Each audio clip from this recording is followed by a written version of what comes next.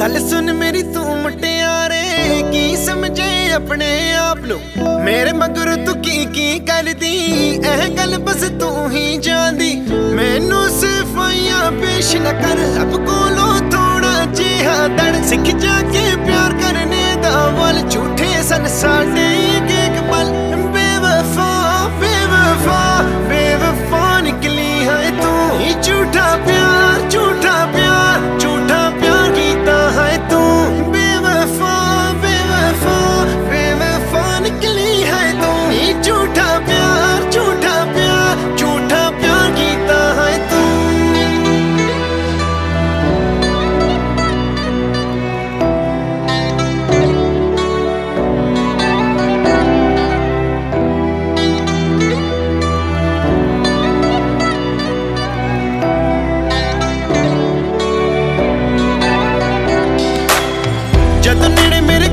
तू